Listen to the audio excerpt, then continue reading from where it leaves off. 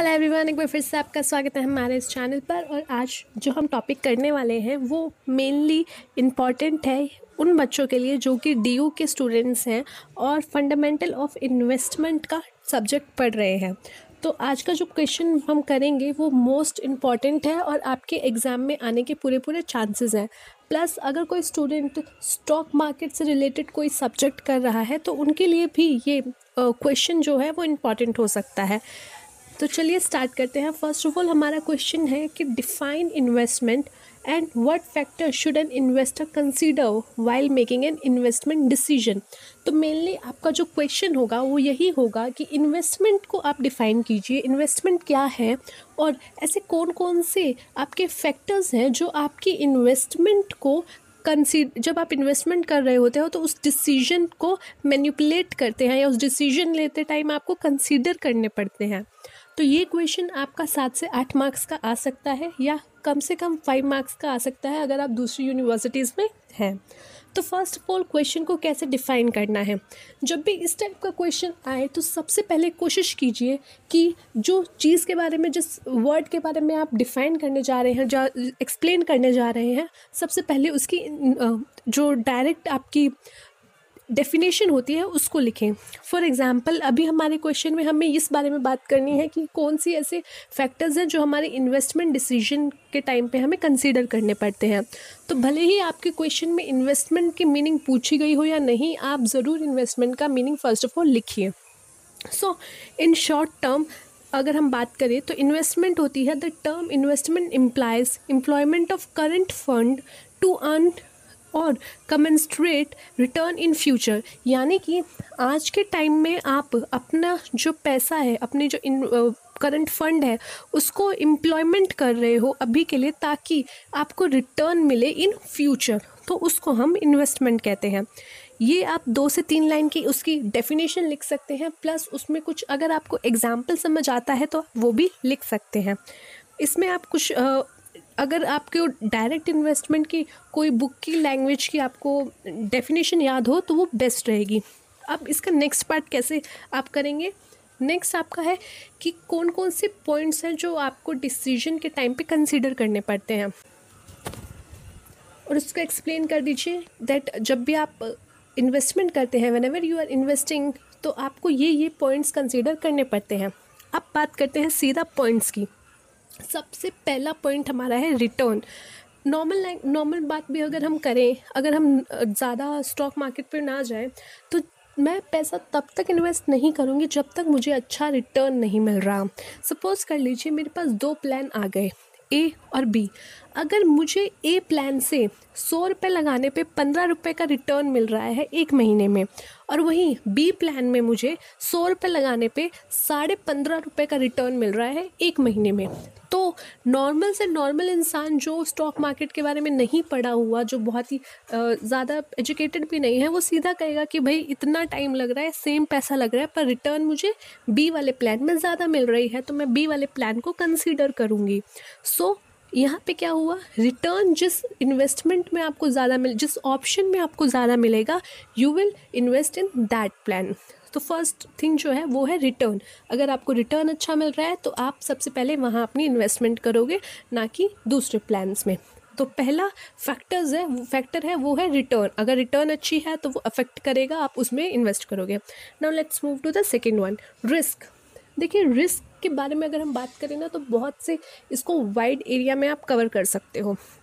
जैसे कि रिस्क होता है कि आपकी एक्सपेक्टेड रिटर्न जो है, वो और आपको एक्चुअल रिटर्न कितना मिल रहा है, उसका डिफरेंस देखना। आपने एक्सपेक्ट किया था हंड्रेड रुपीज़ लगाने पे आपको सौ सौ रुपये लगाने पे आपको दस रुपये का रिटर्न मिलेगा। लेकिन आपको एक्चुअली क्या मिला? आठ रुपये का रिटर्न तो यहाँ पे जो रिस्क था, वो कितना? तो इसको, जो इसमें डिफरेंस आता है, ये आपका हो जाता है रिस्क और नॉर्मल इंसान क्या है, वो कम से कम रिस्क लेने वाला ही पोर्टफोलियो चुनेगा। यानी कि जिस प्लान में उसको कम रिस्क लेना पड़े, उसी में वो इन्वेस्ट करना पसंद करेगा। हालाँकि इस केस के कुछ एक्सेप्शन भी बन सकते हैं।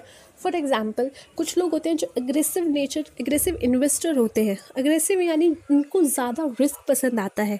As you know more risk more return की एक पॉलिसी होती है हमारी। तो इसीलिए पर आ, कुछ केसेस में ही हम इसको कंसिडर करते हैं बट अगर हम क्वेश्चन का आंसर अपने एग्ज़ाम में लिखेंगे तो हम इसको नॉर्मली डिफाइन करेंगे कि रिस्क का मीनिंग ये होता है और इंसान जो भी इन्वेस्टर है, जो भी इन्वेस्ट करने वाला बंदा है, वो कम से कम रिस्क वाले पोर्टफोलियो में इन्वेस्ट करना पसंद करेगा। Hundred percent risk free for example government की जो सिक्योरिटीज़ होते हैं गवर्नमेंट के जो बॉन्ड्स होते हैं, वो हमारे रिस्क फ्री होते हैं। उसमें कोई रिस्क नहीं होता, क्योंकि हमें पता है गवर्नमेंट एक बहुत ही अच्छी पोजीशन पर है। वो इतनी जल्दी ख़राब नहीं होगी कि हमारे पैसा डूब जाए compare to a private company के शेयर्स हो गए या उसके बॉन्ड हो गए। तो सेकेंड थिंग जो है, वो है risk now third one is liquidity liquidity का मतलब क्या है? भाई, मेरे पास पैसा था, मैंने आज लगा दिया। अब कल को मुझे वो दोबारा कैश चाहिए अर्जेंट में कैश चाहिए तो क्या मुझे वेट करना पड़ेगा कि एक साल वेट करूँ? मुझे अपने पैसे निकालने के लिए दो साल वेट करूँ? नहीं। लिक्विडिटी का मतलब होता है जो चीज़ आपके पास है, जिसमें आपने मनी को कन्वर्ट कर लिया है उसको जल्द से जल्द आप दोबारा मनी में कन्वर्ट कर सको। जैसे मैंने कैश से शेयर ले लिए, अब मेरे पास शेयर आ गए। अब शेयर्स को क्या मैं as soon as possible market में बेच के कैश अपने पास वापस ले सकती हूँ? अगर हाँ तो इसकी लिक्विडिटी ज़्यादा है। यानी कि इसको कैश में कन्वर्ट करने की जो हमारी क्षमता है, वो बहुत ही कम समय में हम कर सकते हैं।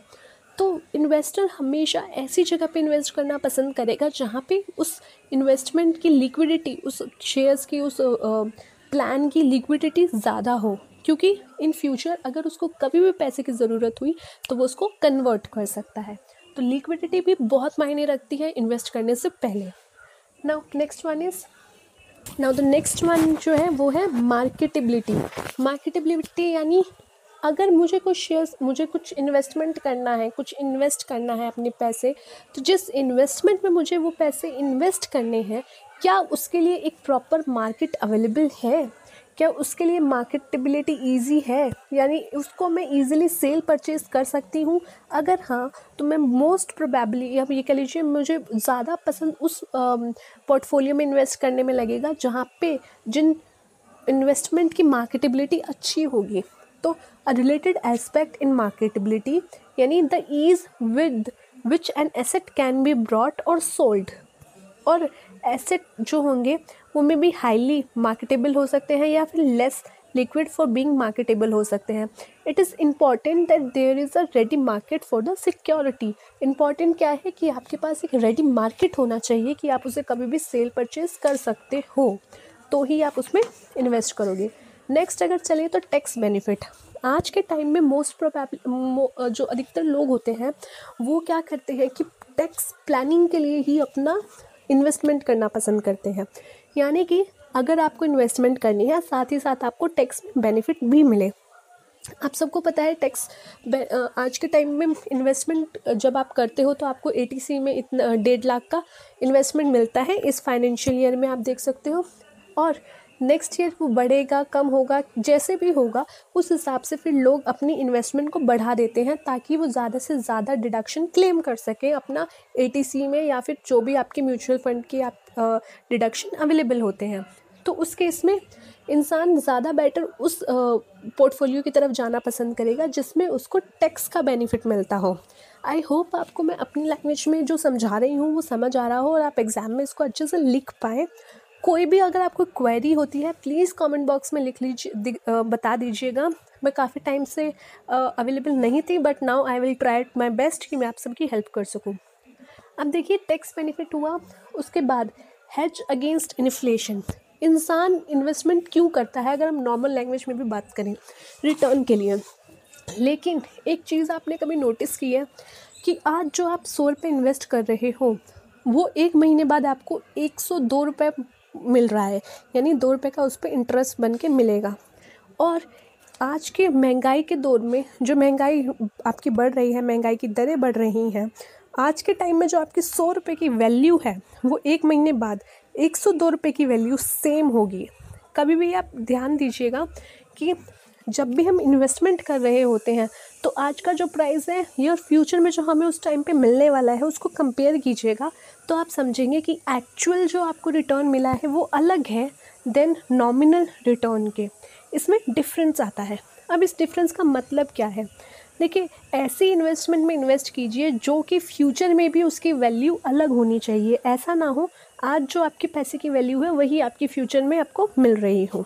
उससे थोड़ा एक्स्ट्रा अगर आपको मिल रहा है तो ही आप उसमें इन्वेस्ट कीजिए। तो इसको कहते हैं हैज़ अगेंस्ट इन्फ्लेशन यानी कि इन्फ्लेशन महँगाई के जो अगेंस्ट आप अपना बचाव कर सके। हैज़ होता है बचाव करना, अपने आप को सिक्योर करना। Safety of capital last one ये मैं अभी आपको सेवन्थ पॉइंट बता रही हूँ सेफ्टी ऑफ़ कैपिटल सात पॉइंट मेरे हिसाब से इनफ है और अगर आपको और भी पॉइंट्स लगते हैं तो आप वो भी लिख सकते हो। चलिए सेफ्टी ऑफ़ कैपिटल भले ही आपको रिटर्न ना मिले, कुछ प्रॉब्लम हो जाती है, कोई दिक्कत नहीं बट एटलीस्ट आपका जो कैपिटल आपने प्रिंसिपल अमाउंट लगाया है वो सेफ़ रहना चाहिए। अगर ऐसी सिचुएशन है, आपको ऐसा डर लग रहा है कि यार इसमें मेरा प्रिंसिपल अमाउंट ही डूब जाएगा, कुछ आना जाना तो है नहीं और जो लगाऊँगा वो भी चला जाएगा। तो ऐसे इन्वेस्टमेंट में आप कभी भी इन्वेस्ट करना पसंद नहीं करेंगे। कोई भी इन्वेस्टर जो है, वो ऐसी सिचुएशन में इन्वेस्ट करेगा जहाँ एटलीस्ट उसको अपनी कैपिटल जो वो लगा रहा है, उसकी सेफ्टी मिले। तो इन दिस केस आप ऐसी जगह पे ऐसे इन्वेस्टमेंट में इन्वेस्ट करोगे जहाँ आपको सेफ्टी मिले ऑफ़ योर कैपिटल सो ये थे हमारे सात पॉइंट आई होप आपको समझ आए हों. एंड कोई भी प्रॉब्लम हो please feel free to ask and I hope आप एग्ज़ाम में अच्छा कर सकें.